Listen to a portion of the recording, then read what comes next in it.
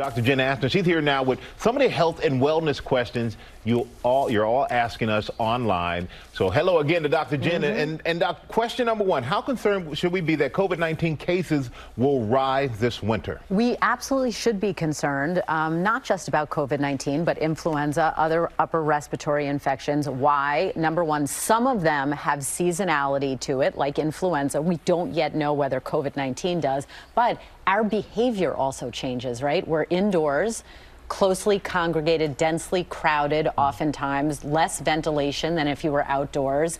Um, so we should be concerned. Absolutely, it's a, it's on the mind of every infectious disease specialist for sure. All right, another question coming here says, "What should I do? What should I be doing differently to keep healthy and maintain my weight in my 50s. I, we didn't see who sent I, this I one actually, in. Yeah. I actually wrote that in. I, sent that question in. It, we call it 40 plus 10 now, just so you know. um, well, the short answer to this great question is you should start before your 50s, right? Because the sooner you start, the easier it will be.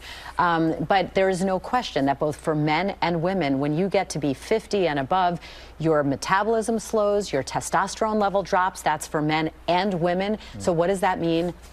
Easier to gain weight. Yes. Hey, you give me so much to look forward to. I'm excited. You're I'm doing excited. you're doing well. You're doing well.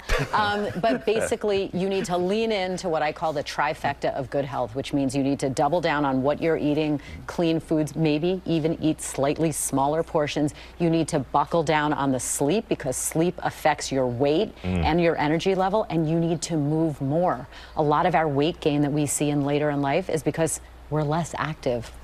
How so are you on those things? I'm up on all those things. Sleep, yeah. food, and have you really? The sleep is the challenging yeah. one, but the other two I'm on. I'm on it pretty good.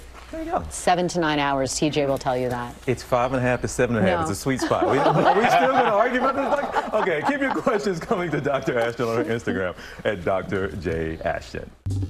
Well, hey there, GMA fans. Robin Roberts here. Thanks for checking out our YouTube channel. Lots of great stuff here. So go on, click the subscribe button right over right over here to get more of awesome videos and content from GMA every day, anytime. We thank you for watching, and we'll see you in the morning on GMA.